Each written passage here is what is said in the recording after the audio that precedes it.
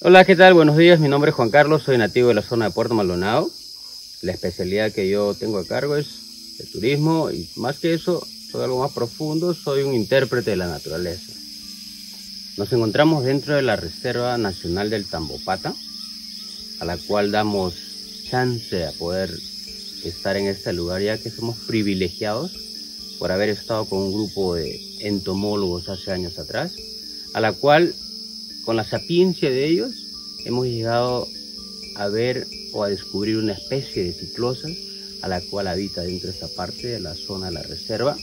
La ciclosa es un tipo de araña tan especial que con su propia fuerza tan pequeña que tiene el tamaño de esa, tan diminuta podríamos decir, que llega a construir casi las partes características de su forma, en la cual del centro se mimetiza para poder ahuyentar. ¿Cómo ahuyenta? Cuando vienen los predadores, hace la vibración de la tela y luce como una araña gigante, ¿no? Y bueno, ¡pum! escabullen a los demás. Durante el tiempo de monitoreo, en las caminatas, han habido dos tipos de ciclosas, pero la más común siempre fue la la ciclosa que aparenta como una línea de basurita en el medio y siempre se percha o se posa en la mitad del centro, ¿no? Lo importante y el esfuerzo que hace uno al estar acá tres semanas monitoreando esta especie porque no teníamos un resultado o una definición exacta del comportamiento, pero gracias a nuestros compañeros o al equipo de científicos que están dentro de la zona del Tambopata, tenemos mucho más información porque es especial. ¡Wow! Por fin.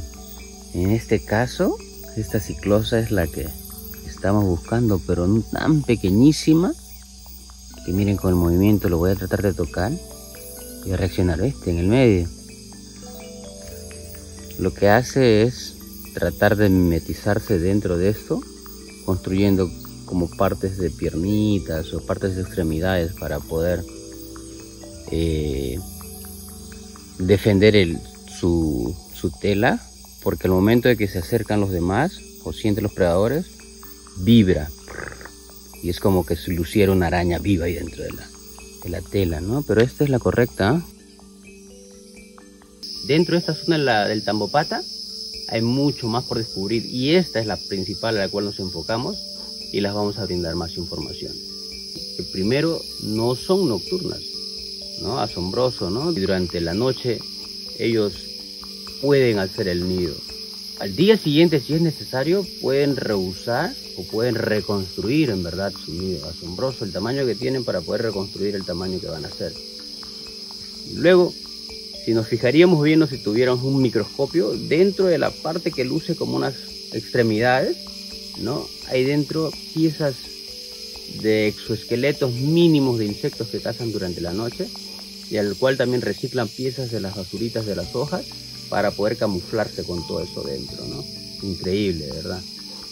Y a la vez también es totalmente importante el momento en que ellos van a moverse de un lugar a otro, asombroso, transportan todo lo que han construido mediante una, una línea de la tela tan fina, pero tan fuerte porque soporta todo el peso que van a cargar de su tela para poder reconstruirlo en otro lugar, ¿no?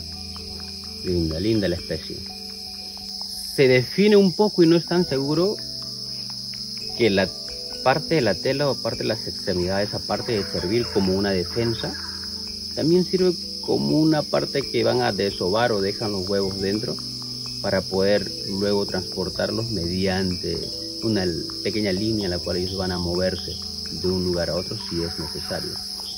Esta especie nos enseña un montón, la diclosa es pequeña pero no es insignificante. O sea, cada cuerpo, cada individuo dentro de la zona de reserva de un hábitat cumple un papel importante al cual debemos proteger y cuidar.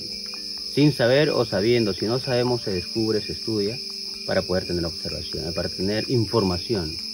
Entonces, así como esta, dentro de la reserva, no solamente acá, pero ahora estamos dentro de la reserva del Tambopata que tenemos diversidad para seguir estudiando, conservando y protegiendo.